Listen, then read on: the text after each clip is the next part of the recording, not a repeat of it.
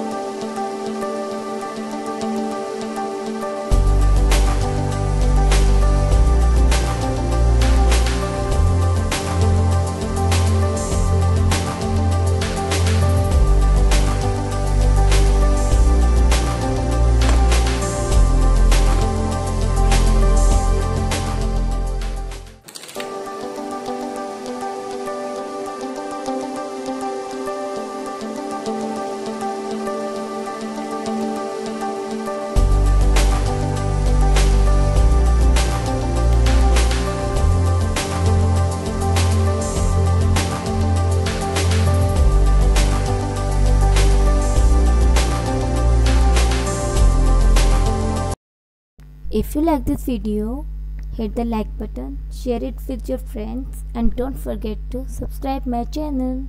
Thank you.